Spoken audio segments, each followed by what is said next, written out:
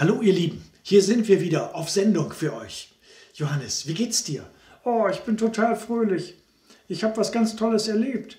Ja, was hast du denn erlebt? Aber vorher, was ist eigentlich mit dem Haus, was du uns letztes Mal gezeigt hast? Welches Haus? Na, das, das Haus, das du bastelst aus Pappe. Ach so, da bin ich noch nicht weitergekommen. Ich musste rechnen. Du musstest rechnen? Warum das? Ja, ich habe ich hab, ich hab einen Euro gefunden. Ein Euro? Ja, das sind 100 Cent, das ist richtig viel Geld. Das stimmt. Ich habe mich total gefreut. Schön, Johannes, ich freue mich mit dir. Ja, ich habe auch gleich die Tina angerufen und weißt du, was sie gesagt hat? Na, ich bin gespannt. Was hat Tina gesagt? Sie hat gesagt, ich habe heute zwei Euro gefunden. Tina hat zwei Euro gefunden? Ja, und ich einen. Das ist ja interessant. Und auf einmal habe ich was gemerkt. Was denn? Ich habe mich nur noch halb so doll gefreut. Was? Ja, ein Euro ist ja die Hälfte von zwei Euro. Eins und eins sind zwei und zwei minus eins ist eins. Stimmt. Du hast dich nur noch halb so doll gefreut?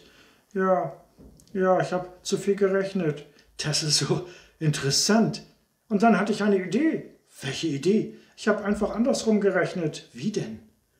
Ich habe hab gedacht, ich kann mich doch über die zwei Euro von Tina mitfreuen und eins und eins und eins sind drei. Und dann habe ich dreimal so viel Freude, wenn ich mich mit der Tina mitfreue. Das ist ja interessant. Da macht das Rechnen richtig Spaß. Das ist schön. Sich mit anderen mitfreuen. Da macht das Rechnen richtig Spaß, oder?